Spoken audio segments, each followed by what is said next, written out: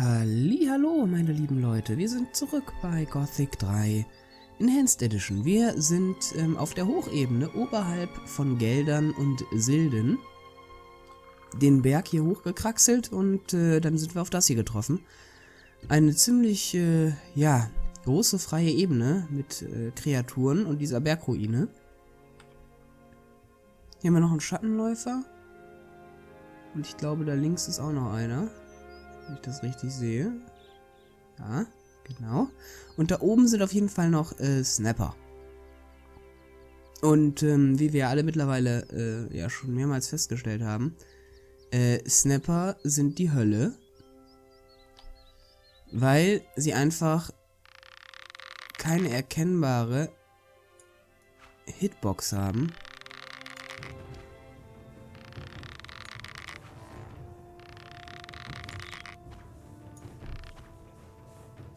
Und abhauen. Wie gesagt, ähm, bei Snapper muss ich echt aufpassen. Das, das, das sind, die Schüsse sind dann immer Blindgänger eigentlich. Wie läuft der denn da jetzt?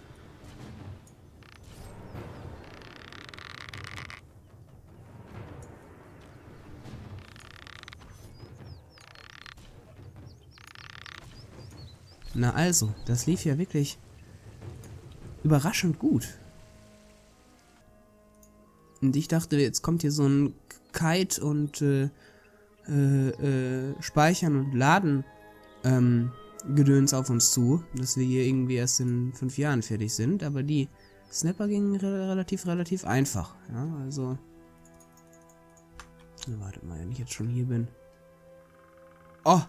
Das sind ach du Scheiße. Das sind drei. Oh ne, vergesst es. Erstmal, erstmal den Rest der Ebene säubern, damit ich dann auch, äh, wenn ich dann äh, flüchte vor denen, was ich, was ich, was ich tun werden muss, ähm, dass ich dann auch, äh, ja, entsprechende Laufwege zur Verfügung habe. Nicht, dass ich dann plötzlich irgendwie in eine Snapper-Bande reinlaufe. Ich glaube, man muss, ich habe schon mal erzählt, irgendwie auf die Füße zielen. Ja, ist ja lächerlich, oder? Ich meine, ihr seht es ja. Jetzt habe ich den Hintern mal getroffen. Aber ich finde das schon absurd. Also keine Ahnung, ob ihr da mit mir übereinstimmt, aber ähm, äh, ganz, ganz rund ist das nicht. Ja, also über die Hitbox habe ich mich an diesem Spiel schon mehrmals beschwert bei den verschiedensten Kreaturen, aber bei keiner Kreatur ist es so schlimm wie bei einem Snapper. Ja, also lächerlich. Was ist das da hinten, was da seinen Hals räkelt? Das ist schon wieder ein Urviech, ne? Ach Gottchen, die Lex hier. Immer diese Lex am Anfang einer Aufnahmesession. Wenn ich das irgendwie umgehen könnte, indem ich den PC irgendwie eine Stunde vorher laufen lasse, ich würde es machen. Aber leider kommt man da nicht drum rum. Ich weiß nicht, woran es liegt.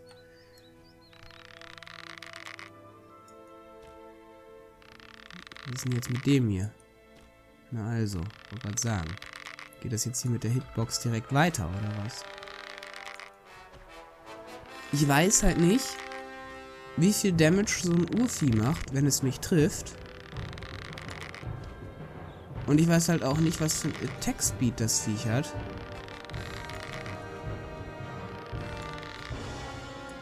Ich weiß nur, dass ich fast in den Baum da gelaufen wäre, in, in, in die Verästelung da.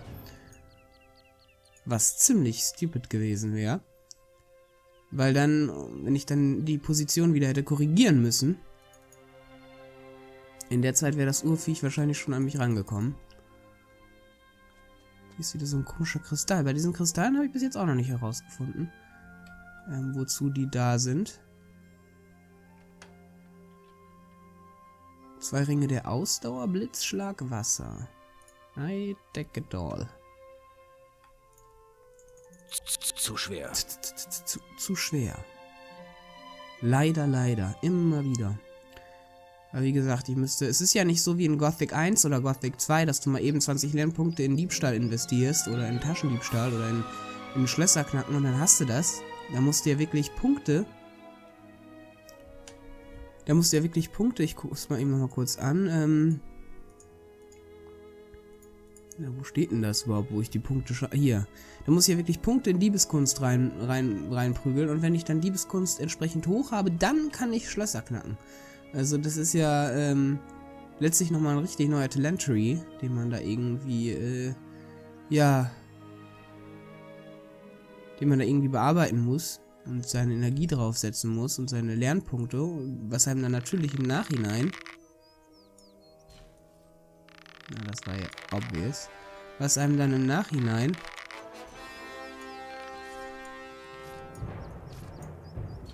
ähm, bei den bei den anderen Abilities fehlt. Ja, zum Beispiel beim Bogenschießen, ja, beim Jagdgeschick. Wenn ich dann 50 Punkte in Diebstahl reinkloppe, dann fehlen mir diese 50 Punkte ganz eindeutig beim Jagdgeschick. Und das ist ja beschissen, ne? Also da kannst du dir dann aussuchen, entweder machst einen auf Langfinger und äh, büßt dafür in deiner... Sch oh, schwarzer Troll. Und büßt dafür deine Geschicklichkeit ein. Oh, noch, noch mehr Snapper. Ich krieg die Krise. Oder du investierst halt alles in Geschicklichkeit und denkst dir, ja komm, for fuck's sake, egal. Ob ich jetzt die paar Kisten mehr ausnehme oder nicht. Hauptsache, ich kann die Monster einigermaßen schnell umprügeln. Und ich glaube, diese äh, Einstellung ist auch mir die liebste.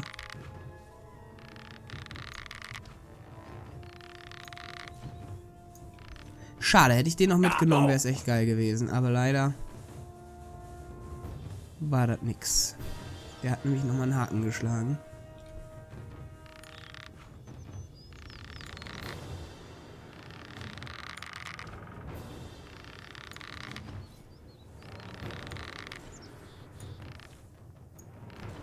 Es ist dann, dann wieder in dieser, das ist schon wieder dieser scheiß Ast, der mir vorhin auch schon bei dem Urvieh im Weg war. Ja, ich treffe ihn nicht, ich treffe ihn nicht. Es ist doch lächerlich. Es ist so lächerlich. Das macht keinen Spaß gegen die Scheißviecher. Hier. Jetzt habe ich ihn mal getroffen. Diese miese, dreckige Kreatur, ehrlich. Und das ist auch eine Pfeilverschwendung. Ich meine, es dürfte das letzte Problem sein, über das ich mich hier aufrege, aber wenn ich das schon habe hier, die Möglichkeit, dann nehme ich das jetzt auch als Kritikpunkt, ja, weil es ist nicht nur so, dass die mich fertig machen und es immer fünf Stück sind und ich für einen Stepper gefühlt zehn Schuss brauche, weil neun von den zehn Schüssen oder acht von den zehn Schüssen einfach ins Nirvana gehen, wo keiner eine Ahnung hat, wie konnte der jetzt bitte durch diesen Verf Punkt, Punkt, Punkt Snapper durchfliegen, ohne dass er ihn trifft.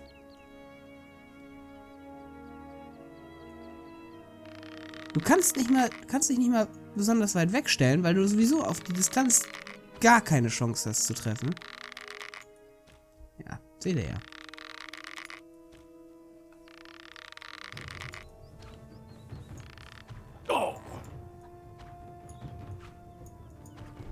Lächerlich. Einfach nur lächerlich. Und die sind so schnell, diese Viecher.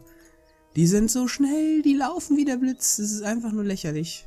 Das, die Snapper hätten, hätten sie direkt umbenennen können in lächerlich. Ja? Das ist jetzt ein karges Wortspiel, aber so sehe ich das. So, jetzt kommen wir nämlich zu den Viechern, die wirklich eine Bedrohung darstellen. Und das sind nämlich diese dämlichen Trolle da oben.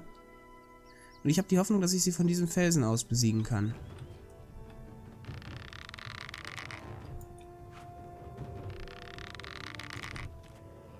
Sieht gut aus.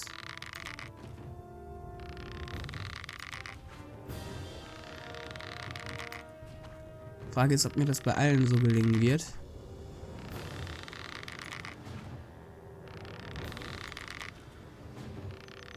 Der schwarze Troll finde ich jetzt übrigens, finde ich übrigens nicht so eindrucksvoll.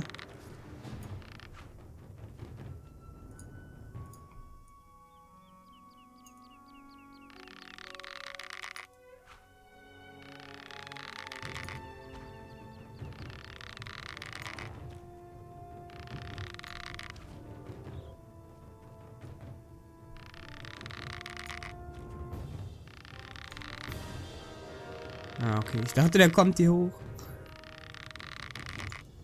Kommt nämlich bedrohlich nahe. Mit seinem hässlichen Gesicht da. Ich sehe nicht den Live-Balken, aber ich weiß, dass ich ihn treffe, weil er immer sich komisch bewegt. Bei einem, bei einem Hit. Bin mal gespannt, wie viele Erfahrungspunkte der bringt. Zur Erinnerung, ein normaler Troll brachte 500 Erfahrungspunkte.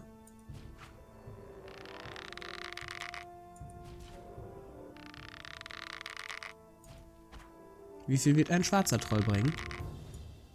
700.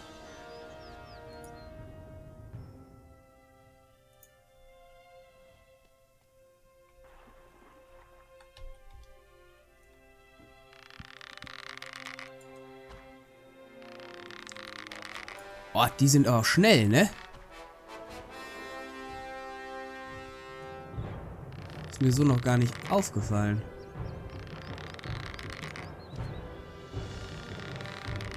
Meine Güte. Ist der hässlich. Der wird bestimmt von seiner Mutter ausgesetzt. Und der kommt mir echt ein bisschen zu nah, finde ich. Na. Immerhin.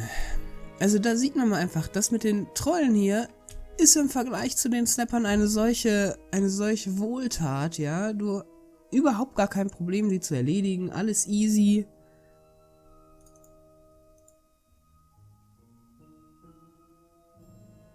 Und dann kommst du halt wieder in das Vergnügen, dass du wieder gegen eine Horde von Snappern kämpfen musst.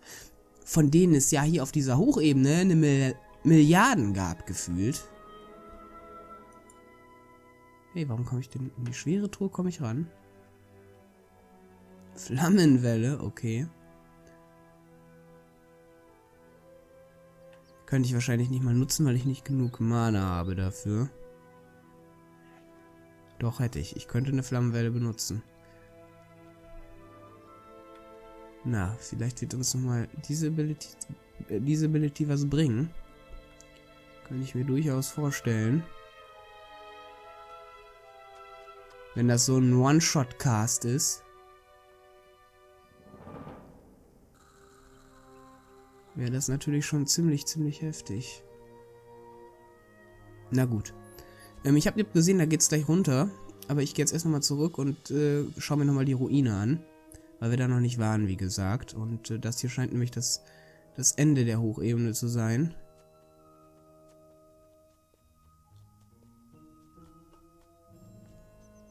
Wobei es hier halt auch irgendwie nochmal in, in den Wald hineingeht, also. Also von daher, eigentlich kann ich auch wieder zurückgehen. Eigentlich macht das keinen Sinn. Egal, wo ich weitermache, da, sieht, da ist für mich kein Ende ersichtlich.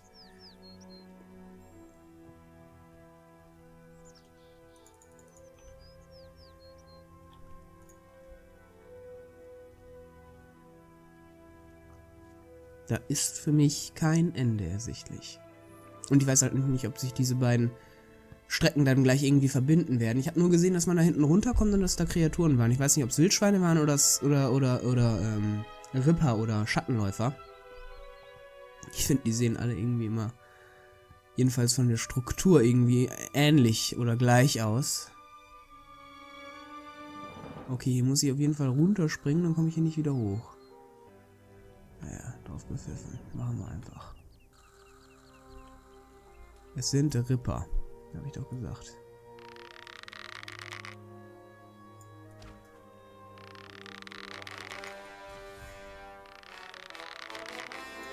Das sind meine liebsten Gegner.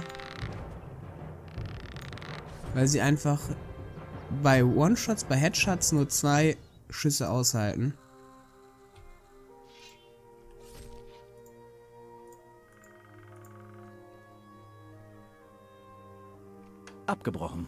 Hey, seit Ewigkeiten mal wieder, dass ein Dietrich abgebrochen ist. Eisland, Heiltrank, Ausdauertrank, Wasser und Rohstahl. Hier ist sogar noch eine Truhe. Die habe ich erst gar nicht gesehen. Aber hier ist nur Crap drin. Außer natürlich immer die, die Pfeile, aber die muss ich ja nicht immer erwähnen. Okay. Nein, nein, nein, nein, nein, nein. Ah, scheiße, aber ich habe gespeichert. Von daher ist es auch egal.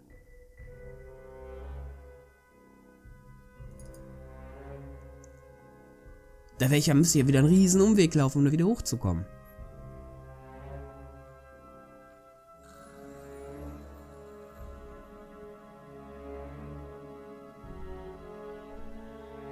Meine Güte, ist das schon wieder Stress hier. Liebe Leute, dann mache ich an dieser Stelle eben nochmal kurz einen Cut. Wir hören uns beim nächsten Part wieder und dann geht's weiter mit Gothic 3. Macht's gut, bis dahin. Ciao.